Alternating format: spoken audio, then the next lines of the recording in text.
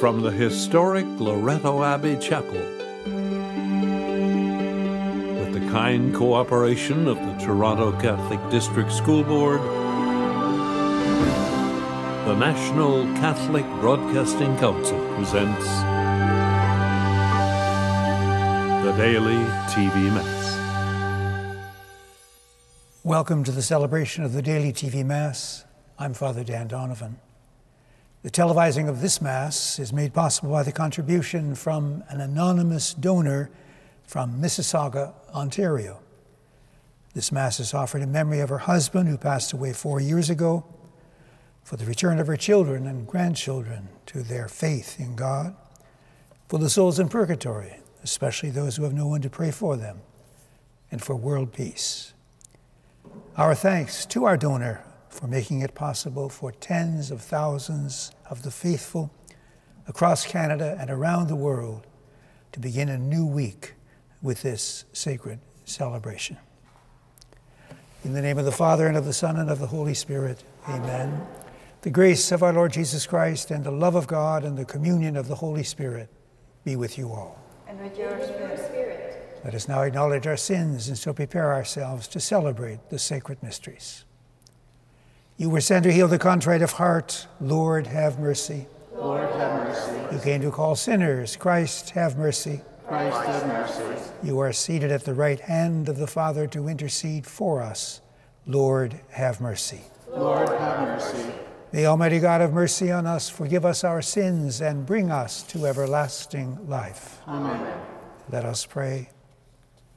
Convert us, O Lord our Savior, and instruct our minds by heavenly teaching that we may, be ben- we may benefit from the works of Lent. Through our Lord Jesus Christ, your Son, who lives and reigns with you in the unity of the Holy Spirit, God forever and ever. Amen. A reading from the book of Leviticus. The Lord spoke to Moses, saying, Speak to all the congregation of the people of Israel, and say to them, You shall be holy, for I, the Lord your God, am holy. You shall not steal, you shall not deal falsely, and you shall not lie to one another. And you shall not swear falsely by my name, profaning the name of your God. I am the Lord. You shall not defraud your neighbor, you shall not steal, and you shall not keep for yourself the wages of a laborer until morning. You shall not revile the deaf or put a stumbling block before the blind. You shall feel, fear your God. I am the Lord. You shall not render an unjust judgment. You shall not be partial to the poor or defer to the great. With justice you shall judge your neighbor. You shall not go around as a slanderer among your people, and you shall not profit by the blood of your neighbor. I am the Lord. You shall not hate in your heart any one of your kin. You shall reprove your neighbor, or you will incur guilt yourself. You shall not take vengeance or bear a grudge against any of your people, but you shall love your neighbor as yourself. I am the Lord. The word of the Lord. Thanks be to God.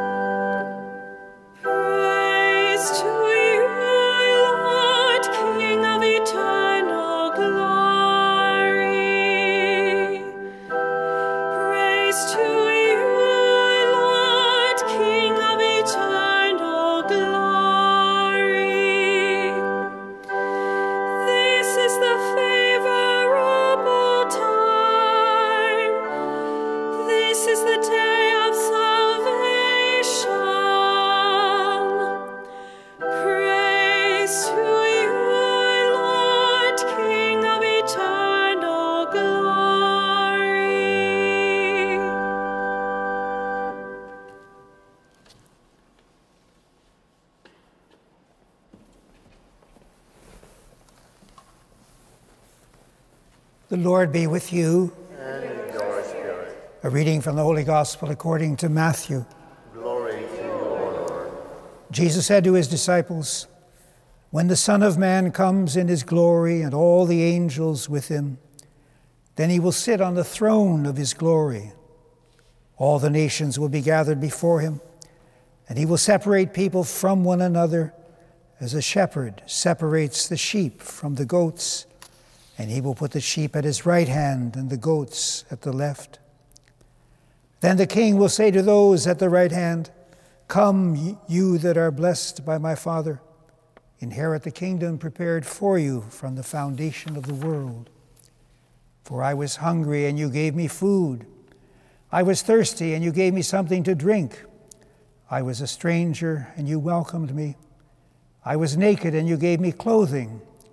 I was sick, and you took care of me. I was in prison, and you visited me. Then the righteous will answer him, Lord, when was it that we saw you hungry and gave you food, or thirsty and gave you something to drink? And when was it that we saw you a stranger and welcomed you, or naked and gave you clothing? And when was it that we saw you sick or in prison and visited you? And the king will answer them Truly I tell you, just as you did it to one of the least of these brothers and sisters of mine, you did it to me. Then he will say to those at his left hand, You that are accursed, depart from me into the eternal fire prepared for the devil and his angels. For I was hungry, and you gave me no food. I was thirsty, and you gave me nothing to drink. I was a stranger, and you did not welcome me. Naked, and you did not give me clothing. Sick and in prison, and you did not visit me. Then they also will answer, Lord, when was it that we saw you hungry or thirsty, or a stranger, or naked, or sick, or in prison, and did not take care of you? Then he will answer them, Truly I tell you, just as you did not do it to one of the least of these, you did not do it to me. And these will go away into eternal punishment, and the righteous into eternal life. The Gospel of the Lord. Praise to you, Lord Jesus Christ.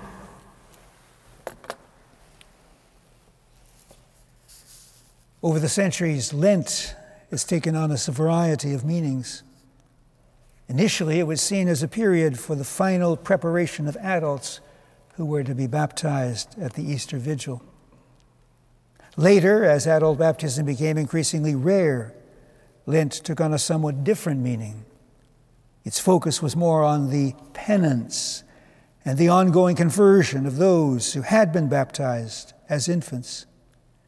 People now committed themselves to some additional work of piety or of charity to make up, as it were, in some small way for their past failings. In this context, Lent was seen as a privileged time for the sacrament of confession or reconciliation. Lent today has become more like it was in the early church. The RCIA program, the Rite of Christian Initiation of Adults, has deepened our awareness of Easter, and especially of the Easter Vigil, as a privileged time for baptism. It is, after all, through faith and baptism that we enter for the first time into the death of Christ in order to rise with Him to newness of life. For those of us who were already baptized, the renewal of baptismal promises at the Easter Masses provides an opportunity to experience again that gift of life, that gift of new life, which is at the heart of the paschal mystery, the mystery of the death and resurrection of Christ. Lent and Easter are all but inseparable. To think of the one is to think of the other. Easter celebrates the life giving, life transforming mystery at the heart of our faith, while Lent calls us to an ever deeper renewal of that faith and of our love as we prepare to enter once again into the mystery of Christ in the Easter liturgy. The English word used for the liturgical season we've just begun has an unusual history. It comes from an old English word meaning length or lengthening. It points to the fact that during Lent in the northern hemisphere, the sun mounts up into the sky, the days become gradually longer, and new growth of various kinds begins to appear. As unusual as the choice of such a word might be for the period we know as Lent, it is more than appropriate. Throughout Lent, we have a sense of moving towards spring and Easter, and the different forms of new life they represent and offer to us. The emphasis at Easter is on life and newness, on joy and celebration. Many churches signal this impact, this aspect of Easter by the presence in them during the Easter season of more candles and lights, and by the presence of flowers of various kinds. As a period of growth, Lent comes to a climax in the celebration of our ever deepening life in Christ, which is at the heart of Easter. The renewal or conversion so central to Lent is both religious and moral, as Jesus made clear in the way he answered the question about the greatest commandment by citing not one but two love of God and love of neighbor. At the deepest level, they are not two loves, but two sides of one love. To pray to God, to meditate on His gifts, to seek to know Him and to do His will, such things are part of being a mature Christian. In order for them, however, to be authentic, they must be accompanied by a way of life that flows from them and which in turn draws us ever more deeply into the mystery of God. Today's gospel contains Matthew's account of the last example of Jesus' public preaching. The context is that of judgment. The risen Jesus takes his place on a throne in front of which are gathered all the nations of the world. Like a shepherd, Jesus separates the sheep from the goats, those whom he will welcome into his kingdom, and those whom he will send away. The criterion by which the judgment is to be made is what we have done or not done for others, especially for those in need. A central theme in the Old Testament one found in the Mosaic Law and in the teaching of the prophets. In them, reference is made repeatedly to widows and orphans and to those referred to as the strangers living in our midst. Such people are seen as representing all those who are particularly vulnerable, including the poor, the sick, and the homeless. It is this broader list to which Jesus refers but even it is by no means exhaustive. The people whom Jesus mentions stand for everyone in need, whether that need be of physical, of psychological, economic, or social nature. Christian morality has a religious dimension. Genuine love of neighbor, love that reaches out to those in need and acts on their behalf, is inseparable from love of God. What is new in what Jesus says in today's reading is the fact that what we do or fail to do to others, we do or fail to do for Him. We may be unaware of it, but loving and serving others, our neighbor, our brothers and sisters, those in need, we are loving and serving Jesus in loving Him we can't help but love God. Lent is an ideal time to read, to meditate on, and to allow a text like today's gospel to challenge us to examine our conscience, especially in regard to the way we treat one another. Lent invites us to see and to be touched by the needs that are all around us and to do what we can to counteract them. The more we are able to do that, the more will we be ready to renew our baptismal commitments at Easter. Let us now, in faith and trust, present before God our needs and the needs of our world.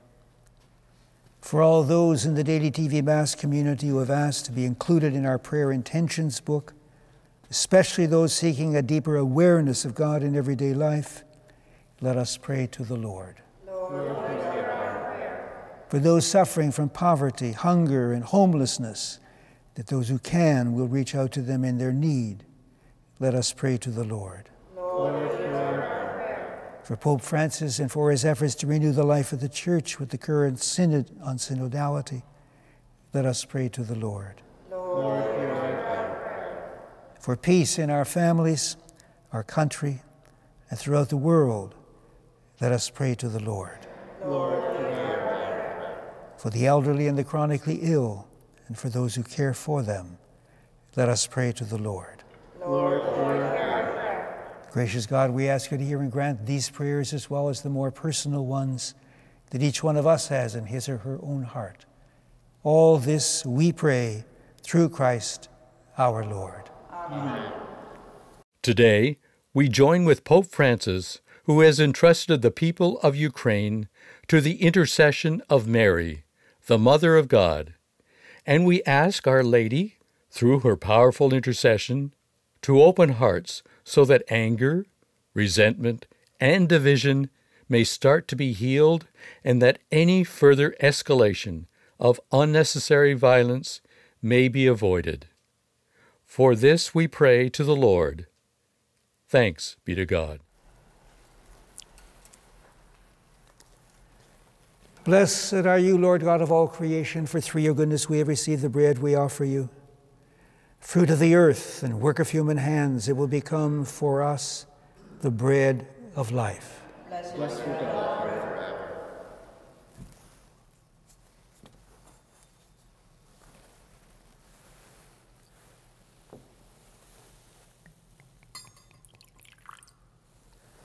by the mingling of this water and wine become partakers of his divinity. Became partaker of our humanity. Blessed are you, Lord God of all creation, for through your goodness we have received the wine we offer you. Fruit of the vine and work of human hands, it will become our spiritual drink. Blessed be God forever. Gracious God, we accept the sacrifice. Wash me from my sins, cleanse me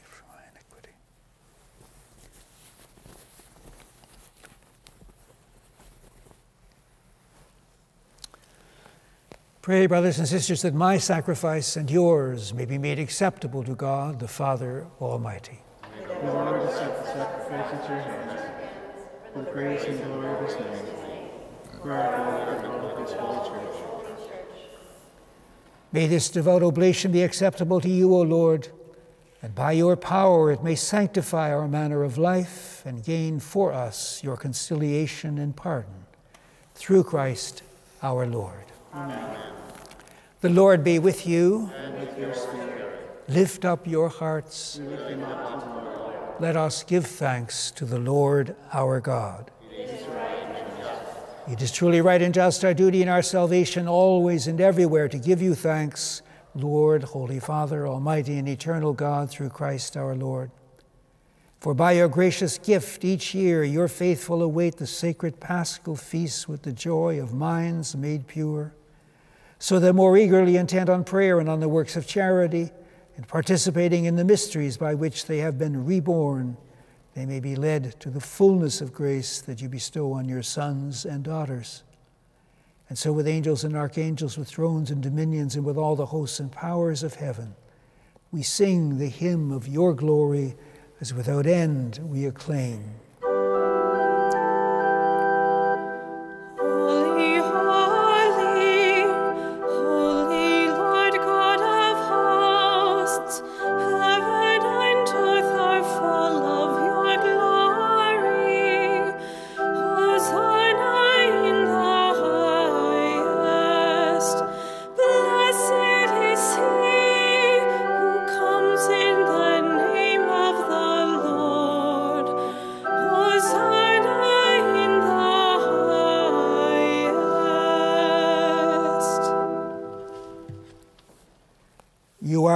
Holy, O Lord, the fount of all holiness. Make holy, therefore, these gifts, we pray, by sending down your Spirit upon them like the dewfall, so that they may become for us the body and blood of our Lord Jesus Christ. At the time he was betrayed and entered willingly into his passion, he took bread and giving thanks, broke it, gave it to his disciples, saying, Take this, all of you, and eat of it, for this is my body, which will be given up for you.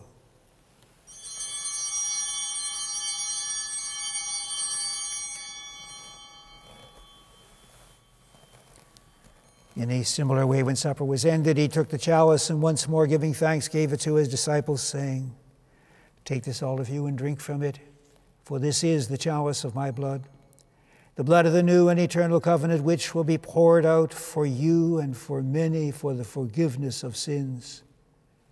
Do this in memory of me.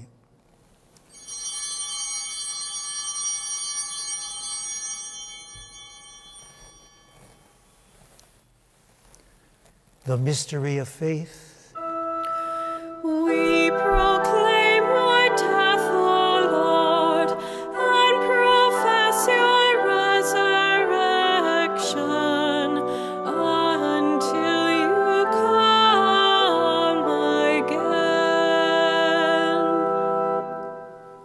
Therefore, as we celebrate the memorial of his death and resurrection, we offer you, Lord, the bread of life and the chalice of salvation, giving thanks that you have held us worthy to be in your presence and minister to you.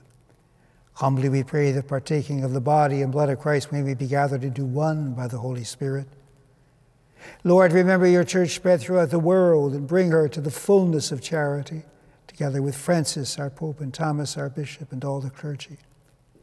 Remember also our brothers and sisters who have fallen asleep in the hope of the resurrection, and all who have died in your mercy. Welcome them into the light of your face.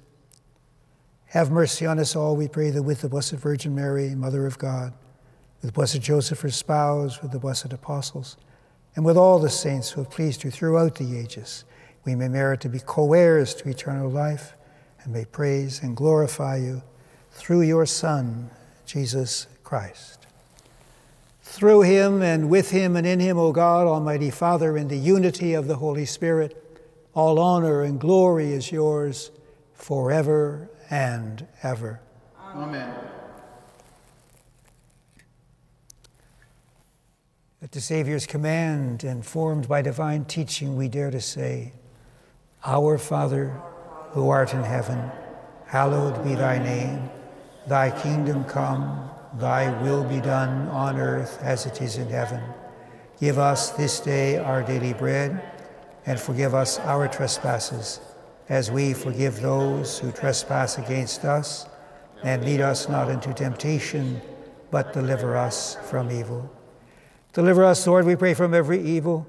Graciously grant peace in our days, that by the help of your mercy we may be always free from sin and safe from all distress, as we await the blessed hope and the coming of our Savior, Jesus Christ.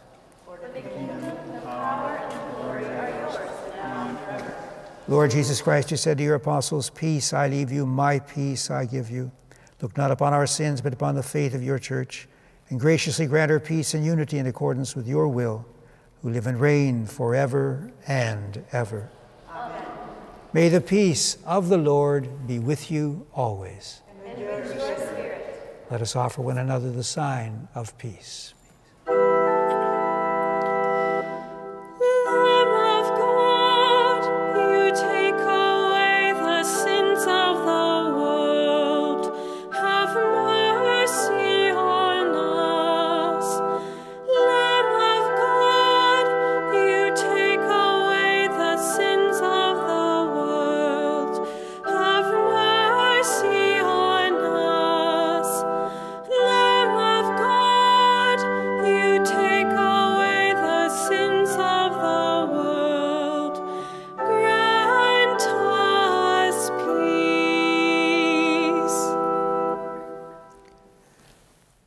The Lamb of God, behold him who takes away the sins of the world. Blessed are those called to the supper of the Lamb. Lord, I am not worthy that you should enter under my roof, but only say the word, and my soul shall be healed.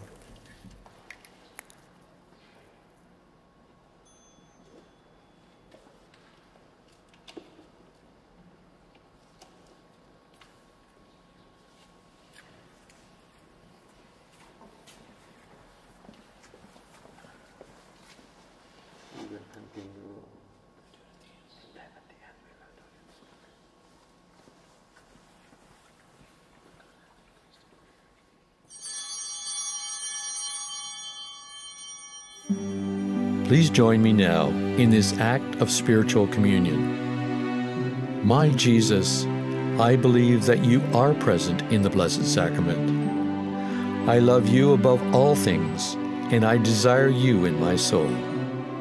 Since I cannot now receive you sacramentally, come spiritually into my heart, as though you were already there.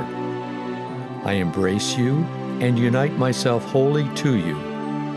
Permit not that I should ever be separated from you. Amen. Let us pray. We pray, O Lord, that in receiving your sacrament we may experience help in mind and body, so that kept safe in both we may glory in the fullness of heavenly healing through Christ our Lord. Amen. The Lord be with you. And with your spirit. May Almighty God bless you, the Father, the Son, and the Holy Spirit. Amen. Go in peace. Our thanks to our donor for the gift of this Mass.